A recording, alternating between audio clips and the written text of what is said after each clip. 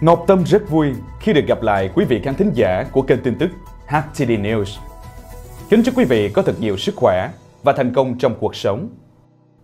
Trước khi đi vào nội dung bình luận ngày hôm nay, chúng ta hãy cùng nhau cầu nguyện cho cuộc chiến tại Ukraine nhanh chóng kết thúc. Cầu nguyện cho người dân Ukraine và thế giới được bình an.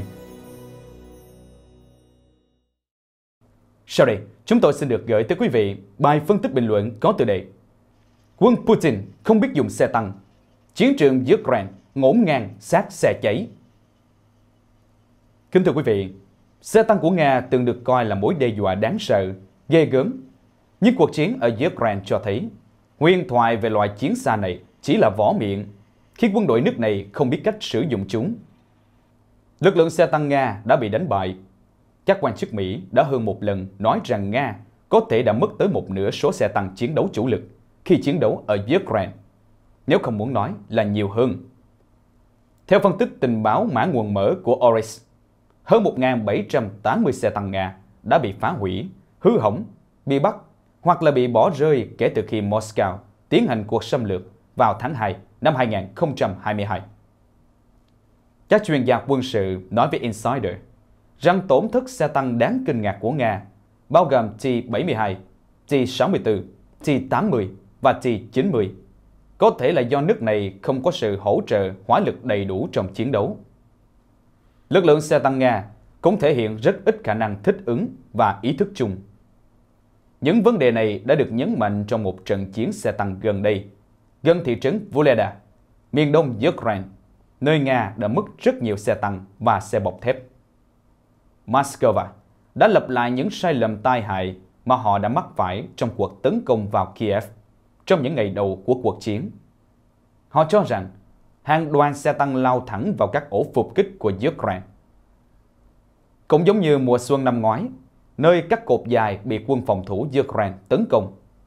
Chiến thuật này tỏ ra không thành công đối với quân Nga ở Vuleda, nơi họ mất hơn 100 xe bọc thép.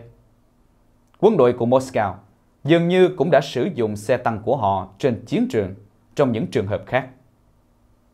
Xe tăng Nga đã trở thành mồi ngon cho binh lính Ukraine, sử dụng tên lửa chống tăng Javelin vì chúng lang thang không mục đích trên cánh đồng trống, có rất ít hoặc là không có sự hỗ trợ hoặc bảo vệ. Đồng thời, người ta thấy chúng lái thẳng qua các bãi mìn và phát nổ. Do thiết kế của nhiều loại xe tăng của Nga, một cú đánh có thể khiến cho đạn phát nổ, giết chết tổ lái khi áp suất quá cao thổi bay phần trên.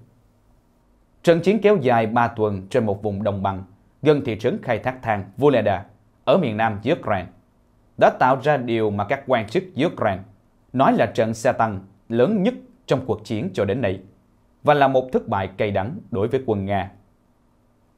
Trong trận chiến kéo dài này, cả hai bên đều đưa xe tăng vào cuộc chiến. Những chiếc xe tăng chạy âm âm trên những con đường đất và di chuyển quanh các hàng cây quân Nga tiến công theo từng đoàn xe nối đuôi, còn quân Ukraine phòng thủ một cách cơ động, bắn từ xa hoặc từ những nơi ẩn nấp khi quân Nga tiến vào.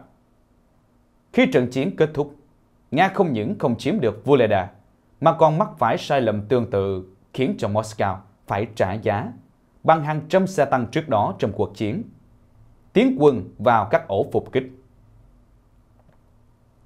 Bị nổ mìn, trúng đạn pháo hoặc bị tiêu diệt bởi tên lửa chống tăng. Những chiếc xe tăng bọc thép cháy thành than của Nga giờ nằm rải rác khắp các cánh đồng nông trại xung quanh Voleda.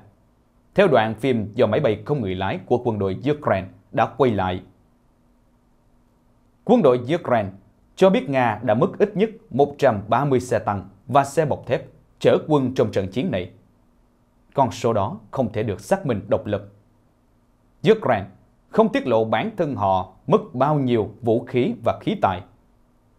Nga dường như không thể tích hợp xe tăng của mình.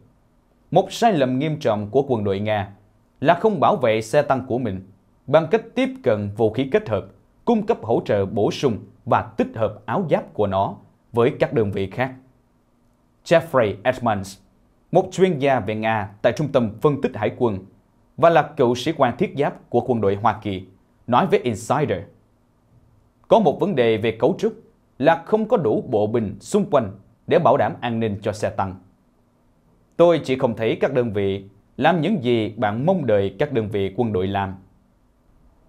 Marina Myron, một nhà nghiên cứu sau tiến sĩ tại khoa nghiên cứu chiến tranh của Đại học King's College London, nói với Insider rằng Nga chủ yếu dựa vào pháo binh, nhưng có thể sẽ được hưởng lợi từ việc chiếm ưu thế trên không nhiều hơn để có thể tránh thực hiện các cuộc diễn tập phức tạp trên chiến trường.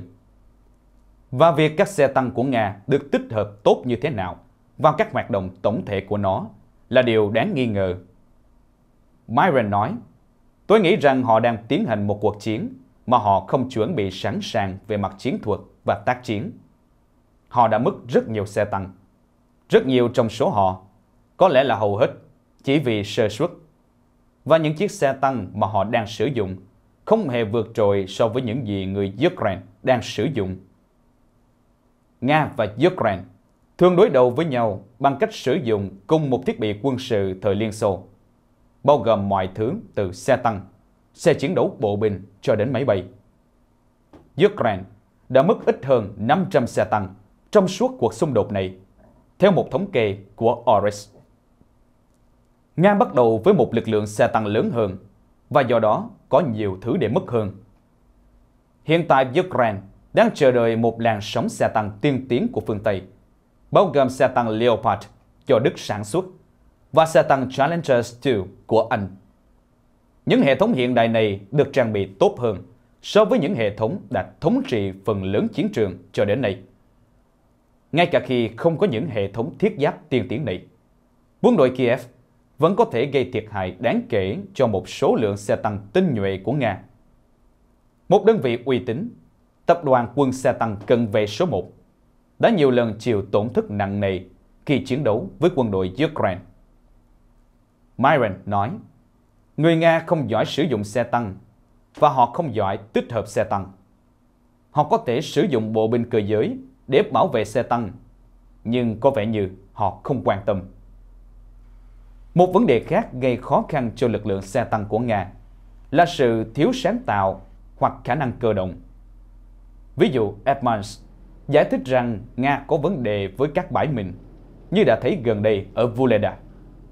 Dọn bãi mìn là một quá trình chậm, phức tạp và có chủ ý, bao gồm nhiều bước. Nhưng xe tăng Nga dường như lái thẳng qua chúng.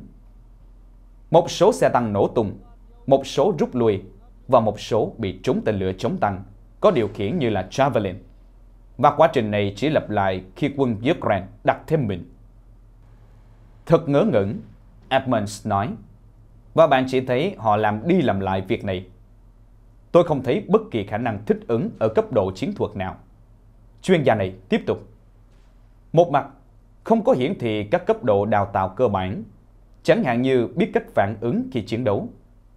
Ngoài ra, không có sự phát triển hay đổi mới nào từ người Nga. Điều mà ông cho rằng một phần là do phong cách chiến tranh của Nga. Kiểu lãnh đạo từ trên xuống, trái ngược với cái thứ gì đó giống như là sáng kiến nâng cao, cấp cơ sở được thấy trong quân đội phương Tây. Chuyên gia Edmonds nói về chiến thuật của Nga.